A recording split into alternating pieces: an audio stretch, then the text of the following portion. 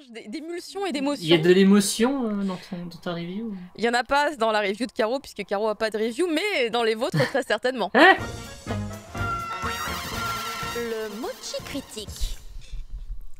On va commencer par une euh, review où il y aura peut-être de l'émotion, puisque à partir du moment où on, est euh, en duo et qu'on voyage et qu'on fait des rencontres, peut-être, peut-être que l'émotion est suscitée.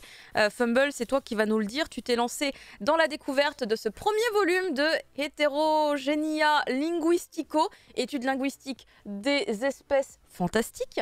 Euh, et bien, et du coup, à toi de nous dire de quoi est-ce que ça parle et à quel point l'émotion était forte. Une certaine émotion, oui. Euh, oh, c'est pas de la tragédie, c'est pas de la comédie, enfin un petit peu de comédie, mais euh, c'est du nobi nobi, donc c'est plutôt de la bonne énergie euh, pour euh, un thème très intéressant qui va parler de sciences sociales, on va dire, tout simplement, et de communication. On est dans un univers fantasy euh, où clairement l'humanité est un petit peu séparée du monde des monstres que l'on connaît. Donc euh, on les découvre un peu au fur et à mesure, mais il y a les loups-garous, il y a les orques, il y a les, euh, les hommes lézards, enfin ce, genre de, de créatures. Et clairement, ils s'entendent pas trop avec les humains, mais en tout cas, ils sont dans un autre monde, un monde un, peu séparé qui s'appelle l'outre-monde. Euh, les humains, euh, on les voit pas trop, sauf le héros, qui est un, le disciple d'un célèbre professeur de linguistique, qui lui s'est très fortement intéressé aux monstres, qui a beaucoup voyagé, qui les a étudiés, sauf qu'il s'est pété le dos, malheureusement. Donc, euh, pour ce nouveau voyage et la suite des études, c'est son disciple un peu, euh, bah, un peu vert, quoi, un petit peu amateur, qui, s'embarque et qui va être euh, guidé par euh, une jeune fille euh, loup-garou qui s'appelle euh, Suzuki. Euh, voilà, on va pas revenir sur les origines de Suzuki qui sont un peu cringe quand même hein, quand on y repense. Mais euh, à part ça, disons que le professeur était vraiment très impliqué dans, dans ses recherches. Mais euh, bah voilà. Oui, oui. Il, suis il- s'est passé des, des bails un petit peu zoophiles, mais euh, à moitié. Aux, aux trois quarts seulement. Mais non, mais non, euh, c'est c'est comme dans, c'est c'est comme dans, euh, je sais pas, euh, les enfants loups, voilà. bah, ou euh, Anna et la bête. euh, le- le- Oui, voilà, Ok. c'est ça. Ok. Mais rendez ça le romantique, putain, les gars, arrêtez. Bah, c'est- voilà. Enfin bon, en tout cas, elle est, elle est adorable. Hein, on peut pas lui en vouloir. Oui. Et ensemble, ils vont partir bah, à la recherche d'autres peuples pour euh, que le, jeune homme qui s'appelle, euh, alors je ne me trompe pas, euh, comment il s'appelle? Akaba. Le jeune Akaba se remplisse son, carnet de, de notes, euh, de- d'études et qu'il fasse ses preuves en tant que linguiste. Et, et bah, on, a, on a beaucoup de, de mangas qui sont un peu de la vulgarisa- vulgarisation scientifique, euh, de- d'his- d'histoire et tout ça. Euh, en fait, là, c'est beaucoup plus intéressant parce que ça utilise le, le décor de la fantasy pour le faire avec humour. Et surtout, ça va pas t'expliquer trop les méthodes ou, euh, la méthode scientifique ou comment on fait, ce qu'il faut faire, ce qu'il faut pas faire. Plutôt, simplement, ça va te montrer à quel point c'est fun et drôle d'être empathique, de découvrir les autres civilisations, de d'essayer de communiquer avec eux et euh, à, quel point c'est la curiosité intellectuelle c'est euh, positif en fait. Donc euh, bon pour ça il y a quelques bases à poser c'est du nobi nobi donc euh, c'est pas méchant il n'y a pas de danger. Euh, le mec euh, il rencontre des monstres mais ils sont tous super sympas. Pas trop de risques en tout cas pour l'instant avec le, tome 1 et donc ça voilà c'est un peu un peu artificiel mais mais ça passe.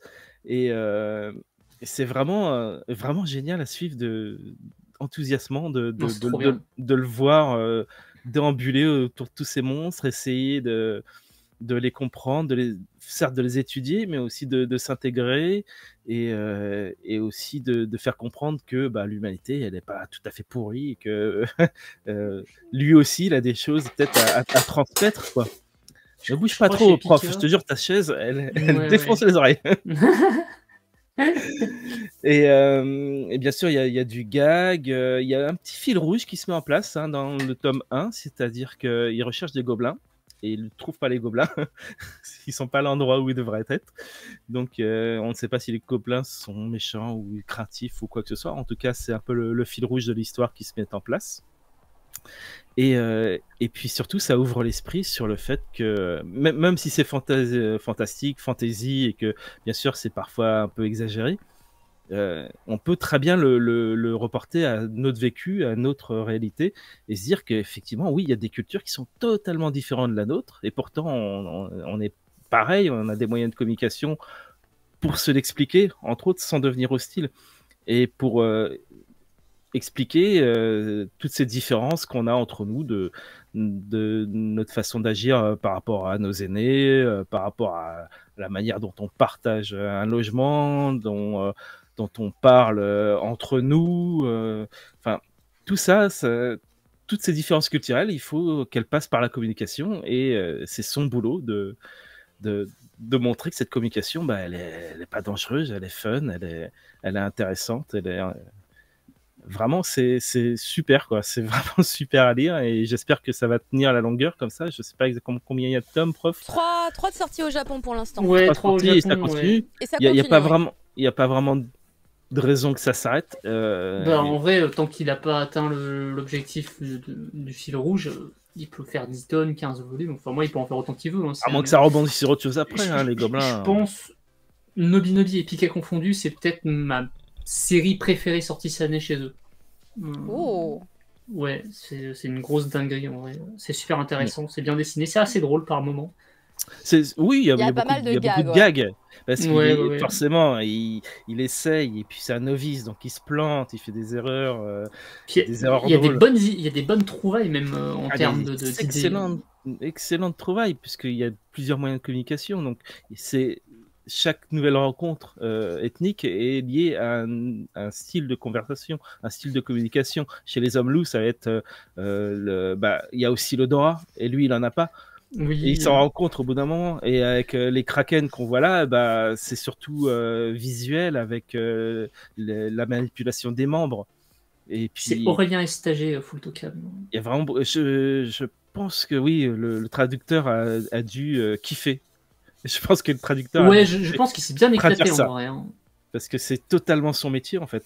Donc, euh, Bah, euh, pour, pour le coup, euh, moi j'aime beaucoup le- fait là. que. Ce que j'avais peur sur la télévision linguistico, c'était que le- le- ça se concentre vraiment sur la langue, mais ça se concentre vraiment plus sur la communication que sur la langue. Coup, ouais. tu as vraiment la parole, mais tu as aussi euh, les sons, euh, les odeurs, euh, les formes, euh, les Tout le- gestes. le, dessin, les gestes, c'est très inventif, vraiment très très. C'est vraiment des super idées et même le, le côté science sociale derrière avec effectivement les, les différents euh, les différentes cultures qui se mélangent la, la scène enfin le dernier chapitre sur les rites funéraires mais le concept est incroyable quoi.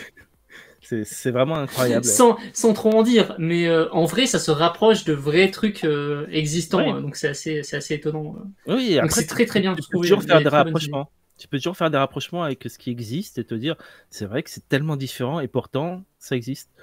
Et ça. euh, ça, ça te permet d'ouvrir ton esprit là-dessus, quoi. C'est vraiment excellent à ce niveau-là, quoi.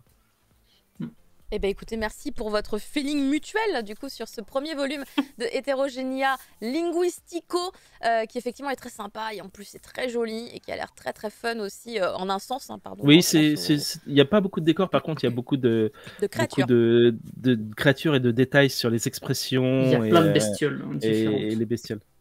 Qui ont tous les leur expression en plus. j'adore il y a plein de lombriques Même, même les kraken, ils ont des expressions Bah étonnantes. oui, j'ai vu le- le- la page là ici avec les petits kraken. J'adore quand on me dit oh un petit kraken. C'est- rigolo parce que le mot kraken ne Ah, m'évoque rien de slimes, mignon à la aussi. base. Alors euh, du coup c'est ça rajoute je trouve une petite dose d'humour. Ouais, le slime, c'est étonnant.